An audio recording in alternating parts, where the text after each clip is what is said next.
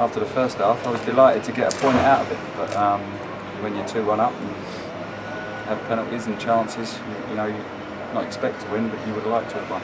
Good start to the second half, though, wasn't it? After, I mean, were there words exchanged at half time? Yeah, of course. Yeah, of course. Um, you wonder why you don't speak like that before the game, but you don't always know, you know. But uh, that's how it gets.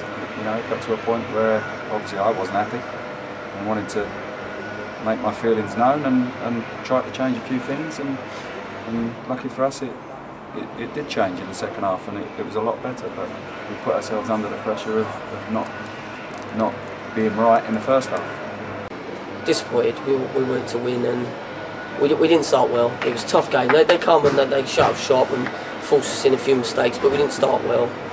Then the guy hits a 40 yarder with a deflection.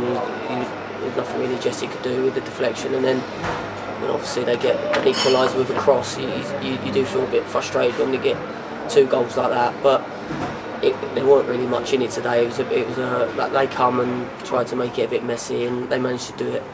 But when we got ourselves two one up, we uh, will be disappointed not to, to hold out. But as I say, can't really do much about the second goal. But as I say, the overall thing is, is disappointing.